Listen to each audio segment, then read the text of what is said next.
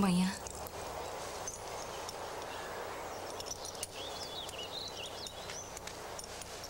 E o que o seu pai diria sobre isso? Tá com medo do meu pai, Sr. Cable? Ou de mim? Ou de você?